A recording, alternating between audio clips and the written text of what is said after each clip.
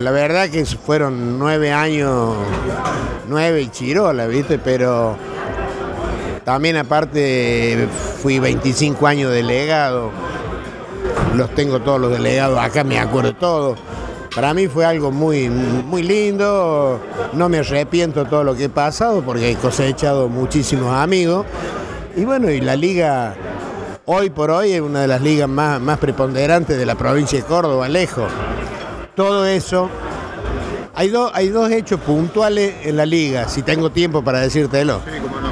Que nunca se, se habla, ¿viste? Porque vos, eh, bueno, el periodo de Julio, el periodo de Pacheco y, y toda la gente que ha estado trabajando atrás de uno no se la tiene en cuenta, pero ni el dinero ni nada. Hechos deportivos que le dieron vida a la liga.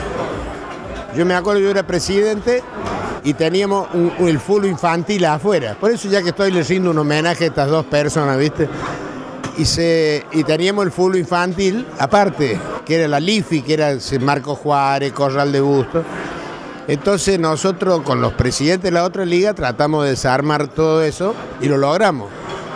Pero nunca, nunca se tiene en cuenta el, el impulso que le dio a la liga traer el fútbol infantil. Pues Central, por nombrar uno, tenía dos comisiones fútbol infantil y si no podía armar uno iba a tener dos. Entonces, Pautrones, eh, Ademar Pautrones y el muchacho de.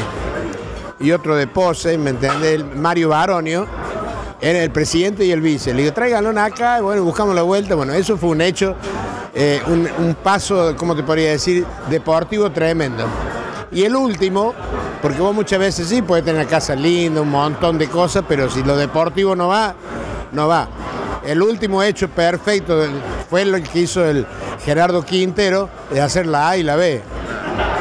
La A y la B fue otra quiebre de la liga que le dio una jerarquía. Yo como es presidente de la liga, estoy en el medio, Belvideo Villa María, escucho la Liga Villa María, y yo me, vuelvo loco de contento cuando nombran la Liga Belvideo, cómo, cómo ha crecido, porque la Liga Belvideo en estos momentos está entre las tres mejores de la provincia quédate tranquilo. Otro expresidente de la liga, Gerardo Quinteros, nos decía. Esto me hace recordar un poco cuando festejamos los 75 años de la liga. Y bueno, se llegaban los 90 años y dijimos, sería importante, por un evento tan importante, que no pase desapercibido y bueno, y lo tenemos que festejar. Así que bueno, se planteó en la reunión del Consejo Directivo y bueno, los delegados estuvieron de acuerdo en hacer esta, esta celebración de los 90 años de la liga. Así que bueno, yo no he trabajado mucho, pero hubo, gente que trabajó mucho para que, bueno, aparentemente están todos los clubes presentes, mucha gente invitada. Y bueno, y un poco quisimos hacer partícipe a todos aquellos que son parte de la liga, digamos, eh, todos los días o sea, los, periodistas, los clubes, los dirigentes, los expresidentes, el Tribunal de Pena, bueno, creo que se trató los árbitros, creo que se trató todo aquello que componen la Liga Belvillense o que hacen al funcionamiento de la Liga Belvillense, que esta noche estén presentes porque ellos también son parte de esta liga. Gerardo, eh, podemos decir, obviamente con orgullo también, que nuestra Liga Belvillense es una de las más destacadas, o por lo menos de las más importantes dentro del contexto de las ligas de Córdoba? Mira, si vos te pones a ver, o sea, eh, uno no, o sea, uno no lo dice por fanatismo, pero uno se pone a ver, digamos, de la forma que está estructurada la liga, de la, digamos, el edificio que hoy tiene la liga, de la cantidad de clubes que posee, de la cantidad de jugadores que posee, este, que tiene dos categorías por ascenso y descenso, yo creo que la Liga Belvillense es una de las más importantes de la provincia de Córdoba. Lo destacaba recién Julio Kiel y me sirve como referencia para, para preguntarle a usted también. Decía que uno de los hechos más importantes y de las decisiones más importantes dentro de la liga fue en su momento dividirla en dos categorías y esperaba que esto se mantenga en el tiempo. Usted tuvo mucho que ver. Sí, lo hicimos, o sea, lo hicimos durante mi gestión, pero no, yo, no fui solo yo. O sea, fueron todos los dirigentes los que participaron. Porque siempre en los bares se hablaba de que había, tenía que estar la A y la B. Yo digo, bueno, pasemos, eh, pasemos de la conversación a los hechos. Y bueno, y aparte se hizo por consenso, eh, o sea, los clubes fueron aceptando quién iba a estar en la, B, en la A, quién iba a estar en la B. este, se hizo un reglamento, se fue, lo fue modificando, porque cuando vos ponerle, planificás algo, aparentemente está bien, pero después, digamos, cuando se, eso se ejecuta, vos podés ir acomodando cosas. Y yo creo que eso ahí a la liga la hizo crecer y yo creo, digamos, de que muchos clubes, que a lo mejor si hubiésemos estado todos juntos, le era muy, muy imposible poder llegar a salir campeón. Y hoy podés ver, digamos, muchos clubes que han podido salir campeón. Muchos dicen, bueno, pero salieron campeón de la B, sí, pero fueron campeones.